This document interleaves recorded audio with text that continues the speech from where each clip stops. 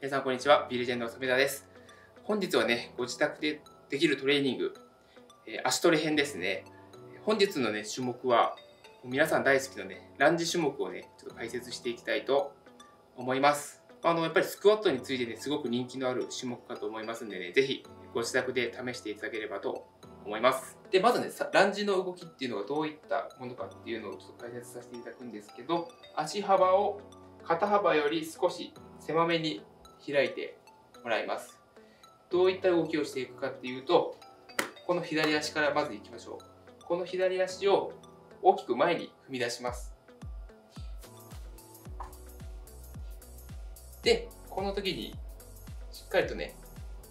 足をね、この足を床と水平になるぐらいまでしっかりと落としてあげます。で、これで1ですね。で、でこのまま元の位置に戻って次は逆の足を出していきます。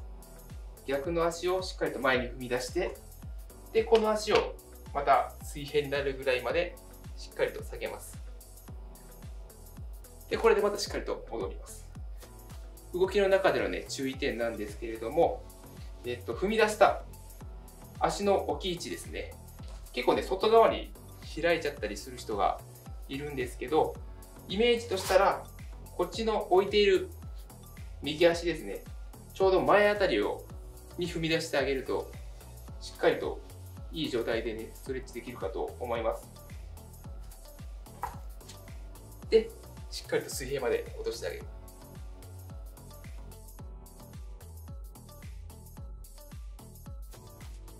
で背筋もしっかりと丸めずにしっかりと水平を立てた状態で1で前の方に左足のちょうど前あたりに踏み出してあげて2でこの時膝を床についちゃう方がいるんですけど負荷が抜けちゃうんでつかずにつかない程度までしっかり2これをね繰り返していくエクササイズになります。それでは20回一緒にやっていきましょう。ではま胸の方に置いてやっていきます。それではやっていきましょう。1 2これ2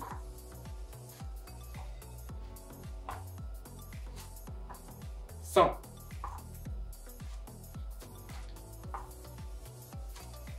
4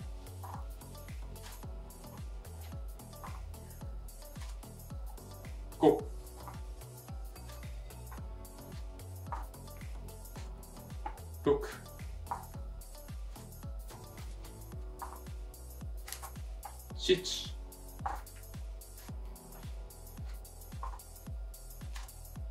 8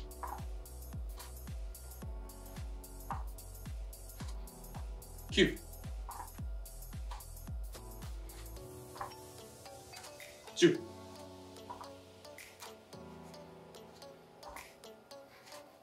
1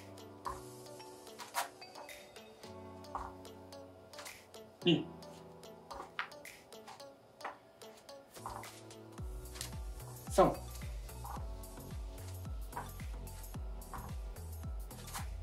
4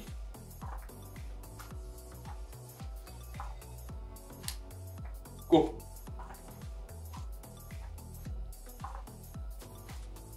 6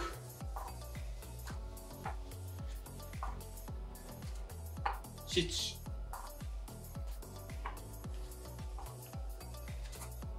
8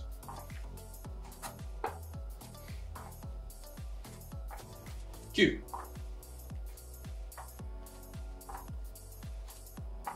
十。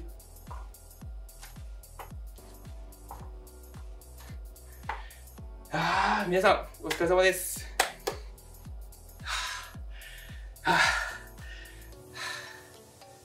実際、あの、今、何も負荷を持たずにやりましたけれども、かなりハードなトレーニングです。20レップやったんですけど、まあ、これをしっかりね、1分間ぐらいインターバルを置いてあげて、これもね、しっかり3セットぐらいやってあげると、かなりね、足全体に心地いい疲労感が残るかと思いますんでね、ご自宅で一度ね、試していただければと思います。それでは皆さんまた次の動画でお会いいたしましょう。さよなら。